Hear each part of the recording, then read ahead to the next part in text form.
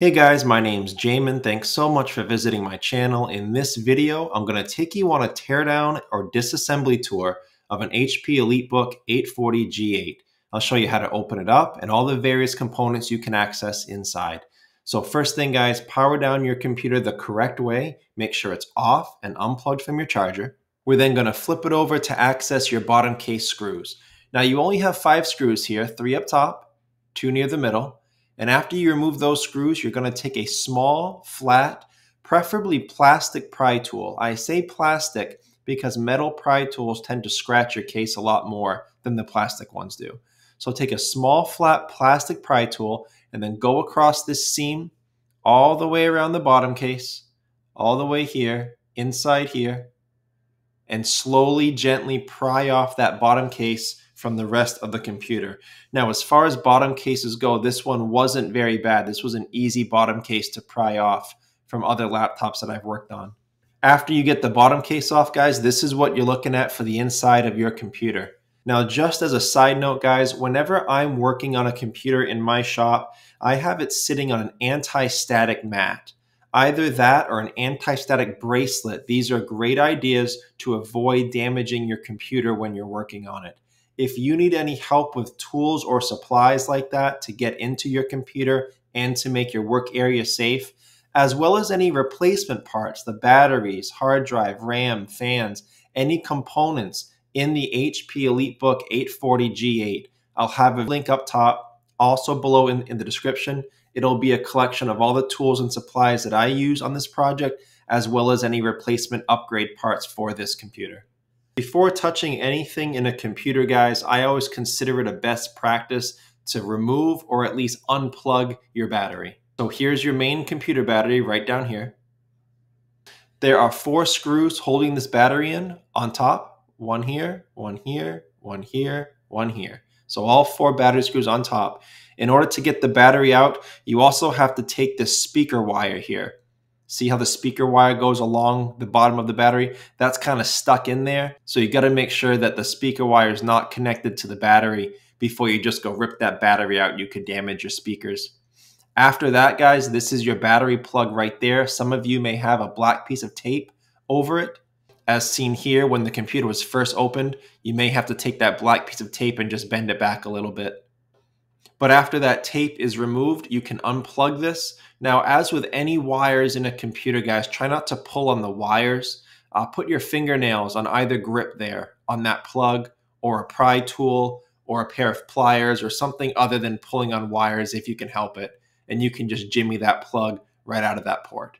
If you guys are wanting battery replacement information, uh, this is a brand name HP model number right here, CC03XL.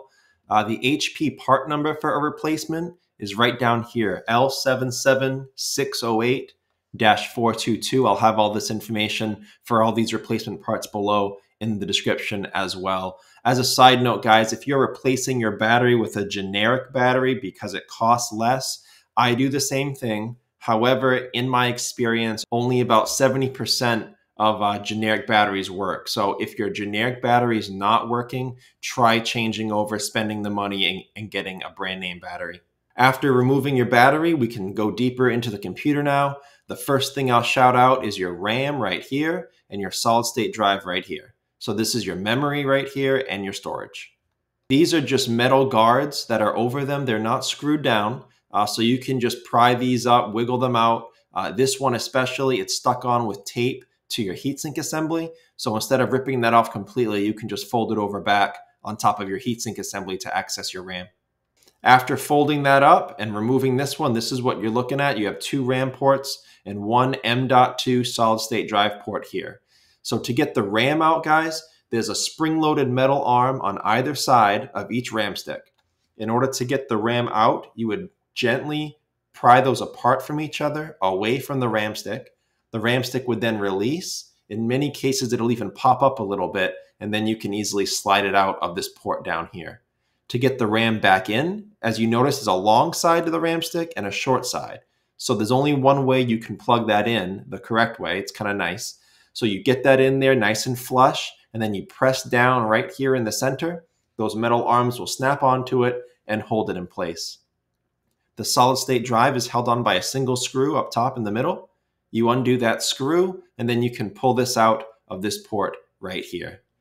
Now, I think in this computer, the maximum RAM was 64 gigabytes, which is a good amount for a computer like this. I'll have the RAM specs below in the description if you're looking for a, replacement. And again, I'll have replacement and upgrade RAM and solid state drive suggestions in that link below as well. The next thing I'll shout out here is your CMOS battery. After you remove your main computer battery, it exposes your CMOS battery. This is wrapped in black electrical tape it's held down by double-sided tape, so if you want to replace it, that can easily be popped off, and it plugs into the motherboard right here. So as usual, try not to pull on wires where you can help it. Put your fingernails or a pry tool on either grip on that plug and jimmy it out of that port if you're looking to replace it.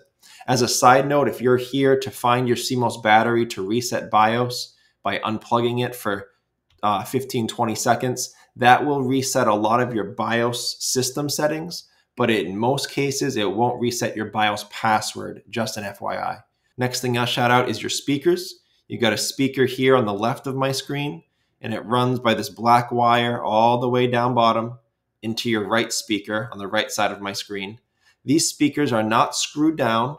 They have these rubber washers on them right there for sound insulation, but you can just wiggle that right off of there and then it plugs into the motherboard right here. Same thing as your CMOS battery. Try not to pull on those wires, but uh, jimmy that plug out of the port if you're looking to get at your speakers. And I'll have speaker replacements in the link below in the description. Next thing I'll shout out is your Wi-Fi card. It's under your fan right here. To get your Wi-Fi card out, you would unsnap these antenna wire. They're not plugs, they're just snaps, so they come up very easily. Uh, and then there's a single screw right here in the middle, kind of like your solid state drive. Once you undo that screw, the Wi-Fi card will come out. That is an Intel Wi-Fi card 6, um, model number AX201. It's a Bluetooth Wi-Fi combo. I'll have replacement options below in the link. The next thing I'll shout out is your fan, your heatsink assembly here.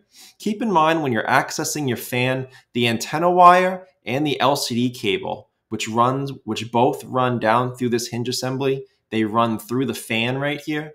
The LCD cable plugs in right there, guys. That's just a black pull tab. You just grab that pull tab and pull right up. That'll un unplug it. But these both run through your fan. So if you're accessing your fan, your heatsink, unrun those, and then you can take off your fan screws and you can release your fan to blow it out, vacuum it out, uh, clean it out, whatever you're in here to do. Uh, when cleaning it out, make sure to get your vent really well as long as you're in here. And if you're coming down to your CPU, you would unscrew these four screws right there.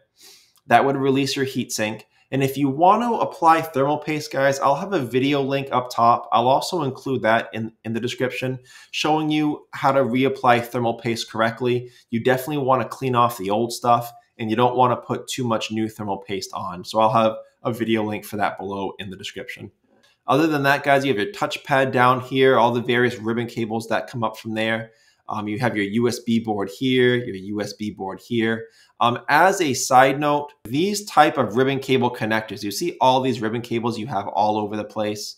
Um, over here, over here. These type of ribbon cable connectors, guys, there's a large probability of damaging these if you're too rough on them. These are very fragile, and if you break them, finding a replacement is very hard, uh, which would mean that your ribbon cables won't ever connect fully or securely. So you definitely don't want to break those. At the end of this video, I'm going to play a clip, a quick tutorial on, on how to manipulate these kind of ribbon cable plugs if that's why you're here.